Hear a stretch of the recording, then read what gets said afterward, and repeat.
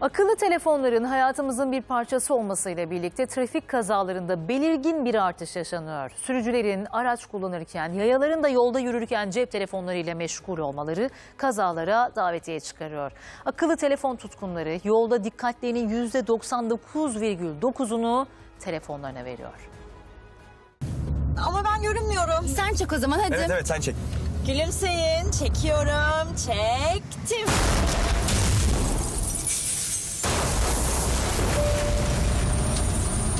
Ne kıl payı ölümden dönmek,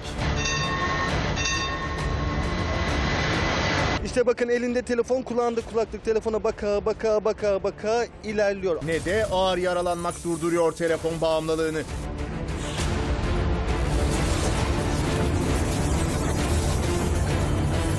Elinde telefon, kulağında kulaklık. Dakikalardır manzara işte tam da bu şekilde.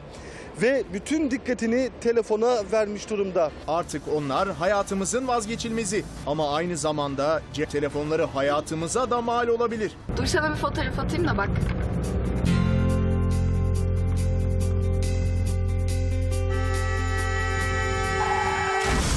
Çok özür dilerim. Önüne baksana kardeşim. Yavuz abi anons çekiyoruz. Telefon işte bu şekilde meşgul ediyor. Konuşma, sosyal medya, araştırma, girme, çıkma, müzik dinleme derken hep telefondayız, hep telefondayız, hep telefondayız. Kulaklıktayız, telefondayız. Bir tane motorcu da kulaklığı takmış. Kas da yok. Birden çıktı bana vurdu.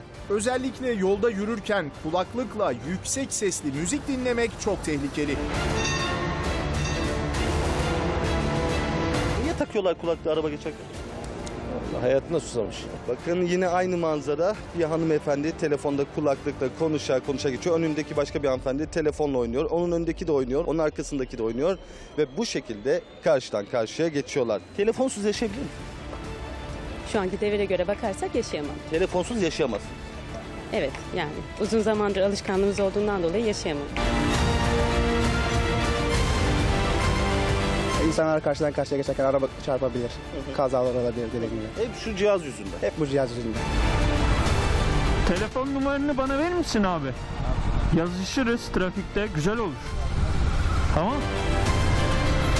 Bu hatalı hareketler sadece yayalara özel bir durum değil. Bazı sürücüler de seyir halinde telefonla meşgul oluyor. Cezası sadece 341 lira olunca yaşanan kazalarda kimseye ders olmuyor. Giderken telefonla niye oynuyorsun ki? E, yol sağ sol yapıp duruyorsun telefon. Direkt araba kullan araba. Ben ilgilenmiyorum yolda giderken. Sadece böyle oturduğum yerde.